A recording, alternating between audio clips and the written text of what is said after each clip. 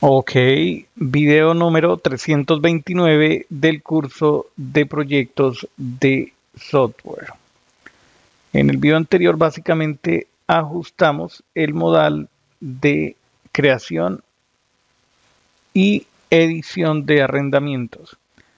Nos ubicamos aquí. Este es el modal como tal. Crear arrendamiento. Eh, no hay periodicidades, pero nosotros nos encargamos de agregar las sentencias necesarias para agregar datos necesarios e iniciales para la tabla periodicidad. Listo. Entonces, a ver, cerremos esto. Eh, miremos los arrendamientos, crear, y ahí ya aparece.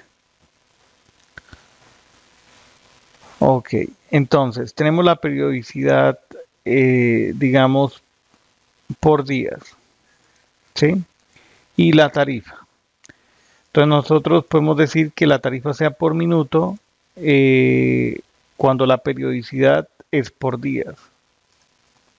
Podemos decir por día, eh, diario, en periodicidad. Tipo de tarifa, claro, por día. Cobra, se cobran 15.000 unidades monetarias. Y la periodicidad es diario, es decir, que diario se cobran 15.000 pesos, 15 mil pesos. Si nosotros colocáramos, por ejemplo, em, que la tarifa por día sea 15 mil, pero la periodicidad sea semanal, ¿qué quiere decir?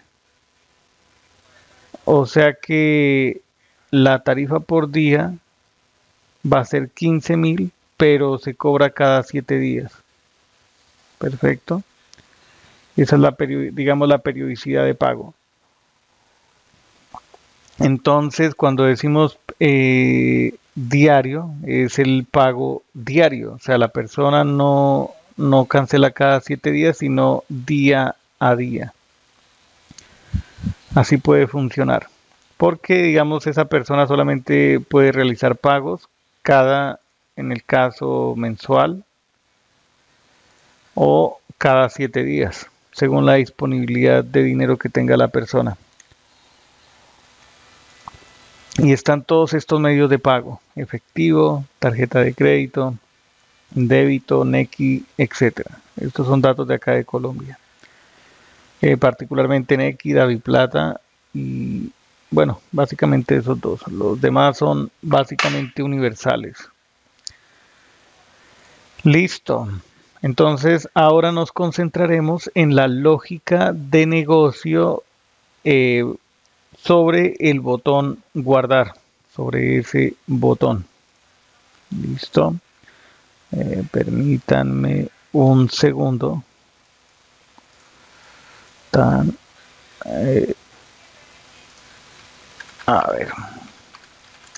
Estoy aquí arreglando algo, solamente un segundo. Perfecto. El botón guardar. El botón guardar. Listo, este botón debería quedar de color verde cuando es de creación para indicar que es nuevo por otro lado. En cliente.html eh, por aquí tiene que estar el botón esto que sea success el de crear sí que quede azul. Entonces cuando se muestre ese modal dando clic en el botón. El bot el modal este modal. Cómo sería la lógica o sea nosotros queremos que se muestre el este es el modal de arrendamientos y este es el modal de crear editar. Mm, listo. Ya sé qué hacer. Este, eh, eh, ahí tenemos el título del el id del modal parte la podemos colapsar para que no ocupe más espacio. Este es el id entonces cuando se muestre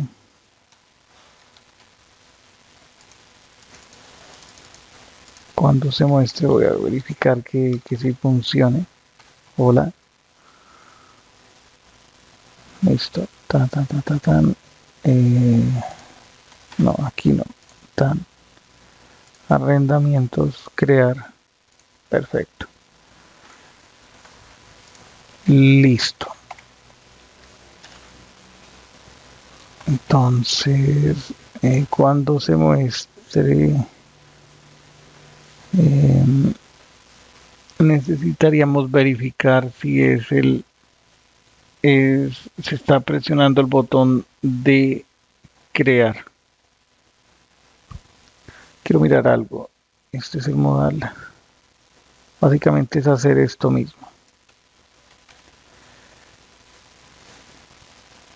pero este es el de ocultar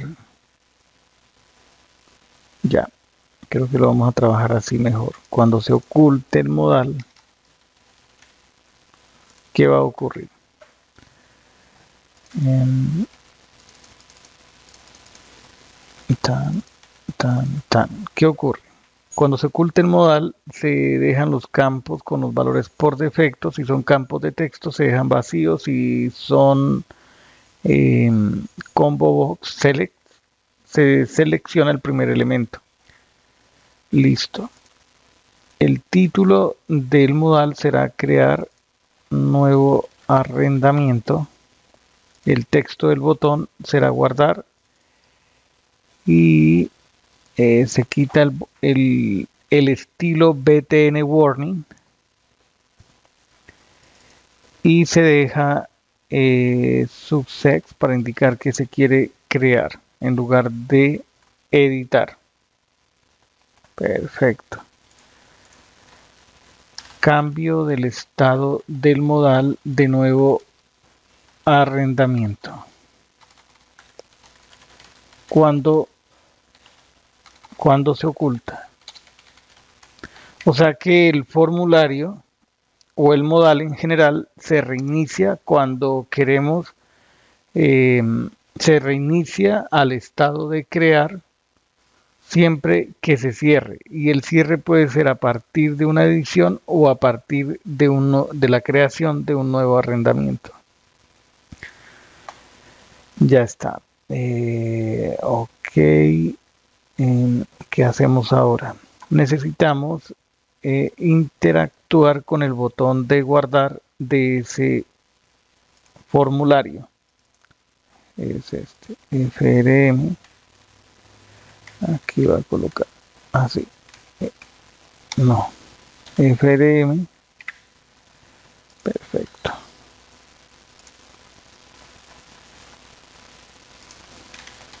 Así.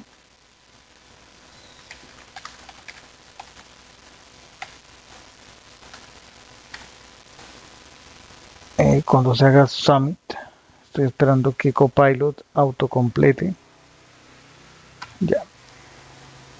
Listo. Este código lo voy a dejar así. Em, un commit que diga em, evento summit para intentar crear o editar un arrendamiento. Listo. Listo, listo. Ok. Podemos dejar hasta este punto y continuar en el siguiente video. Adiós.